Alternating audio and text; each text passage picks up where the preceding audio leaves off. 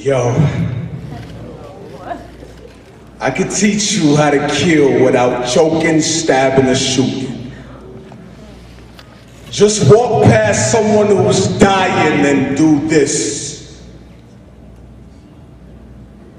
And it's funny, I'm stuck instructing this tough class, but I just passed. I was, I was not the good Samaritan, I was the priest who just passed, who can't understand why he's only washing his hands after taking his blood bath. But here's the lesson. Death is the equivalent to life when life is unmentioned.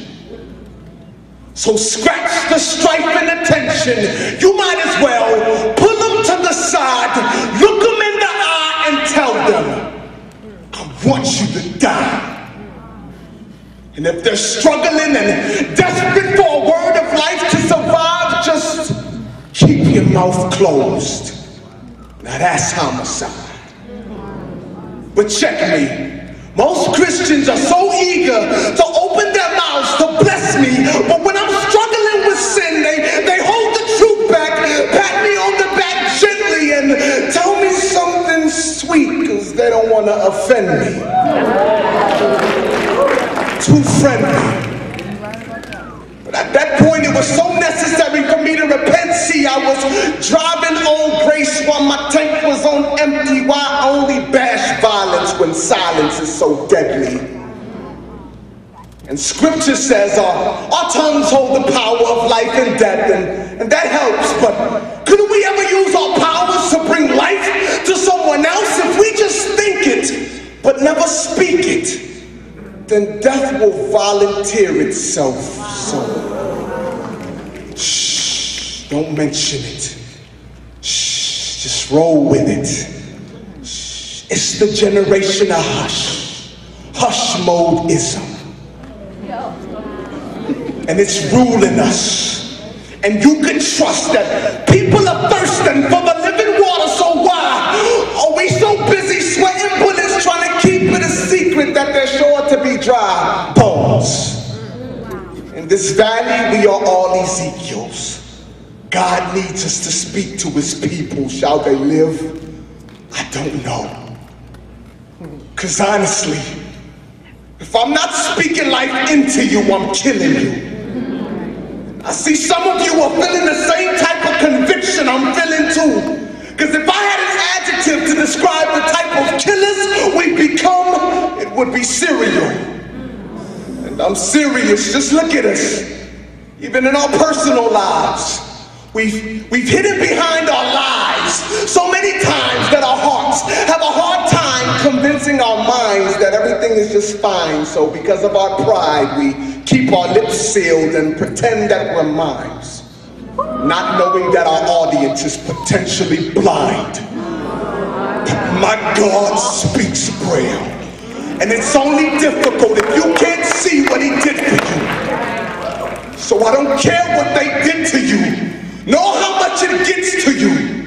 Regardless of who disrespected, rejected, or neglected you, slept with you, and sexually transmitted disease infected you, no matter who, what, where, when, why, or how, spiritually or physically molested you, raped you, betrayed you, spit in your face, just to show you how much they hate you, despite what they did against you. If you take two seconds and think about how you've offended God, it should make you understand how much you deserve death just as much as they do. So if they hurt you, let them know. Speak forgiveness. Let it go, because my brethren, you should know that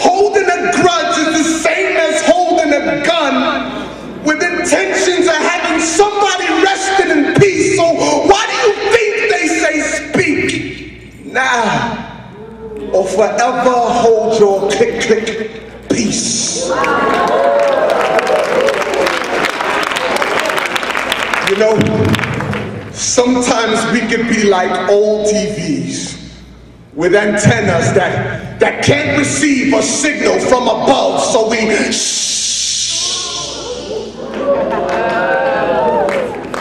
When God wants you to transmit that big picture with love, so do not let fear remote control you. Because no matter how much static is in your view on Christ's station, it's never cute to be mute in volume. So I dare you to be different. Because by faith, I've made a decision that even if I was somehow placed in a prison, feet tied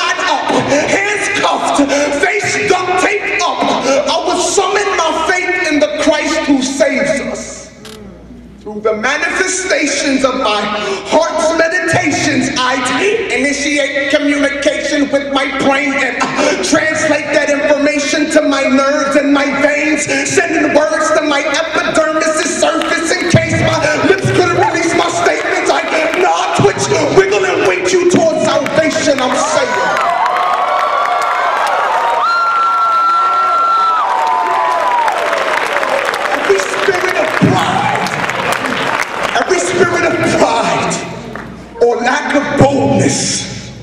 I destroy it in the name of Jesus. You are now granted freedom to life and not just to have it, but to speak it. Just allow God to breathe it. Your CPR is needed. So if anyone is ever seeking for life through the power of your words, I pray and I wish that I never see anyone go.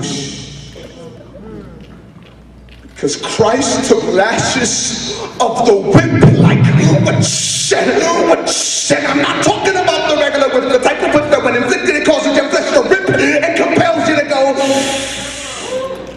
So you never have to go. And now that we know that God has chosen that our spiritual reproductive organs be manifested by our words lips when we're speaking supernaturally we're conceiving by our words through our lips so how can life continue to exist when my sisters keep them closed and my brothers keep them zipped. So for the sake of life, I beg you,